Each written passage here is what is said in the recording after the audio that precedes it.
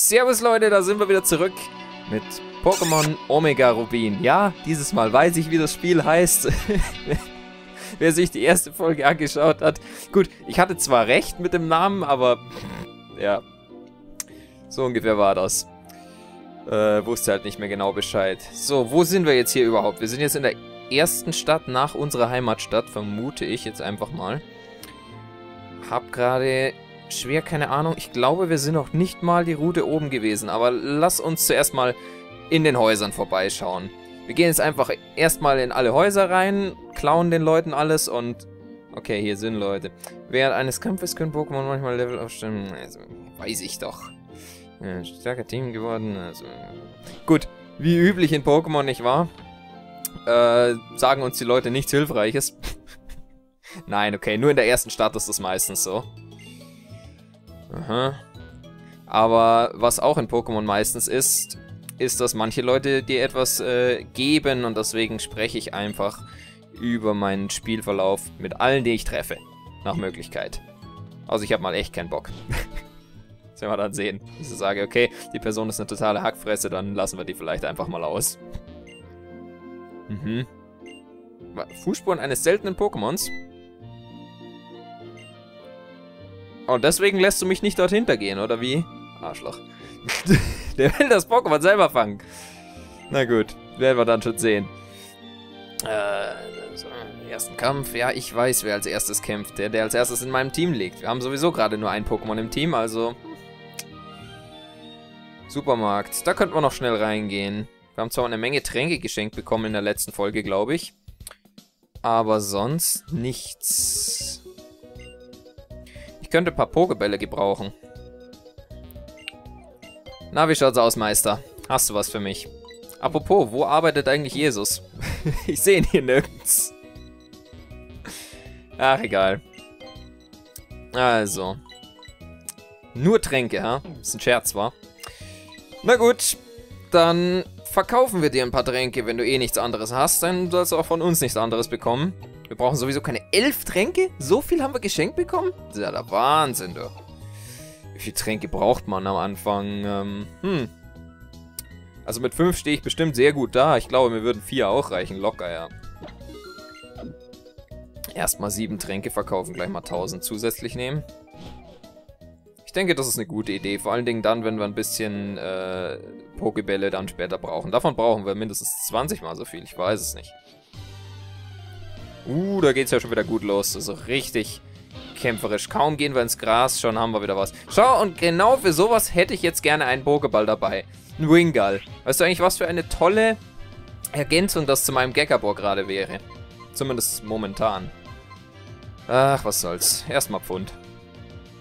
Batsch. das ist einfach so nett, wie Gekabor dem jedes Mal so eine Watschen reindrückt. So, Watsch, Batsch. Ah, einfach nochmal. Lohnt sich gerade schwer. Nice. Level 7. Sehr schön. Ach ja, übrigens, äh, fällt mir ja jetzt gerade eben erst ein. Das merkt man natürlich jetzt, äh, wann ich das Ganze aufnehme. Es ist gerade ziemlich spät abends.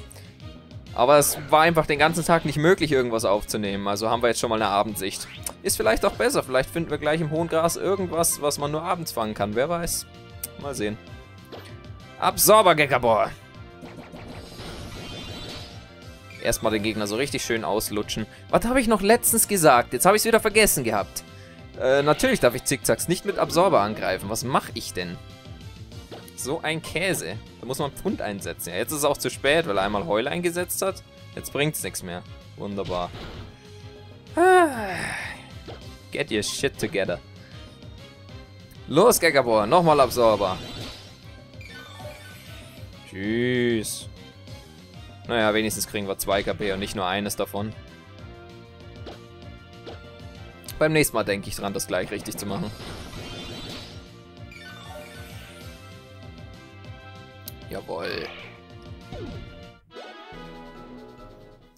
Was sind Zickzacks eigentlich für komische Wesen? So, so nervige Marder oder was auch immer. In Amerika erschießt man die, wenn man sie sieht. ja, weil die einem die Bremsleitungen durchspeisen oder sowas. Gut, hier habe ich bis jetzt noch kein einziges Auto gesehen. Der Berg da ganz hinten im Hintergrund, ganz oben, sieht irgendwie seltsam aus. So, und das ist Maike. Wisst ihr was? Die hat uns noch nicht bemerkt. Ich würde mal sagen... Ich würde mal sagen, wir schleichen uns ganz langsam an sie an. Das habe ich nämlich rausgefunden, dass das jetzt neu ist und dass das geht. Buh! Hat nicht geklappt. Schade.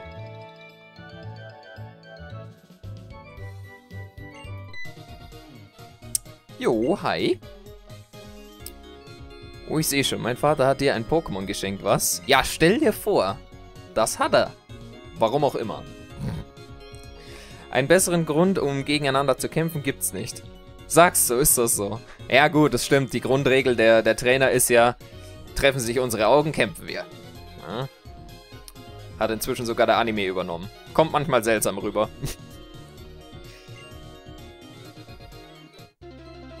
uh, sogar eine Pose hat sie. Oh yes, die Musik. Nostalgie.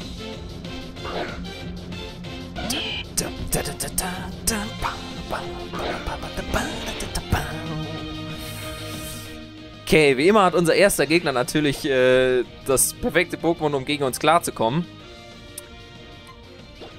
Aber ich denke, das wird trotzdem werden. Erstmal einen Silberblick reinhauen, damit sich dieses Flamby so ein bisschen, äh, na, in die Hose macht vor uns. Ich meine, stellt euch das mal vor, wenn euch jemand mit silbernen Augen gegenübersteht. Schon ziemlich krass. Okay, ja. Der hat ein sehr, sehr starkes Flamly. Ich hätte nicht gedacht, dass das gleich so viel abzieht. Und mein Pfund, das haut nicht so gut rein, wie ich dachte. Aber das macht nichts. Drei Watschen reichen immer. Pfundgeckerbohr! Bats! Ah ja, noch einen Volltreffer reinhauen. Ah, ich weiß nicht. Das ist irgendwie bei fast allen meinen Pokémon-Kämpfen so. Also, ich habe jetzt keine Möglichkeit, euch das zu beweisen, aber die meiste Zeit ist es tatsächlich so bei mir. Immer dann, wenn ich einen Volltreffer kriege, brauche ich gerade keinen. Das ist entweder die letzte Attacke, die sowieso killen würde, meistens. Oder wenn mal ein seltenes Pokémon kommt, das ich gerne fangen würde, dann wird es meistens von einem Volltreffer getötet. Ja, wir werden sehen, wie sich das im Verlauf dieses Let's Plays noch so ähm, weiter gibt. Noch so eine Pose. Eine Verliererpose. Jetzt muss er sich nur noch hinlegen. ja, ich weiß, dass ich ein Naturtalent bin, danke. Nein, ich halte hier in diesem Let's Play nichts von, nichts von Bescheidenheit. so. So ein toller Kampf. Ja, ja, also ich meine, bis auf das mein Gegabor dich nur dumm angestarrt hat und dir fünf Watschen oder drei Watschen oder wie viel gegeben hat und dein äh, Küken nichts weiter getan hat als, äh, na, zu kratzen. Ja, war, war ein toller Kampf, ja. Warte mal eben. Ich heile unsere beiden Tiere. Oh, das ist nett von dir. Ich habe eine Abscheu gegen das Pokémon Center. Mir kommt die Schwester Joy nicht ganz geheuer vor. Die sehen immer überall gleich aus. Das sind bestimmt geheime Nazi-Roboter, die die Welt versuchen an sich zu reißen oder sowas. Glaube, ich weiß jetzt, warum mein Vater so viel von dir hält. Dass er dir sogar ein Pokémon gegeben hat. Ach, der gibt es nicht dem nächstbesten Arschloch, der ihm das Leben rettet? okay, gut. Du hast dein Pokémon noch nicht sehr lang, aber es hat dich schon total gern. Das ist... Das sagt doch alles. Ja, da... Ja. Gegabo ist halt genauso ein abgekochtes Arschloch wie ich. abgekochter Bastard. So, mit jedem wie dir, äh, mit jemandem wie dir will bestimmt jedes Pokémon befreundet sein. Keine Ahnung. Weiß ich jetzt ganz ehrlich nicht. Wir werden es sehen. So, ich bin mit meiner Forschungsarbeit fertig. Es wird langsam Zeit, ins Labor zurückzukehren. Komm, lass uns zusammen zurückgehen. Sagt sie und läuft, und läuft mir davon. Warte auf mich, geheimnisvolle Hure.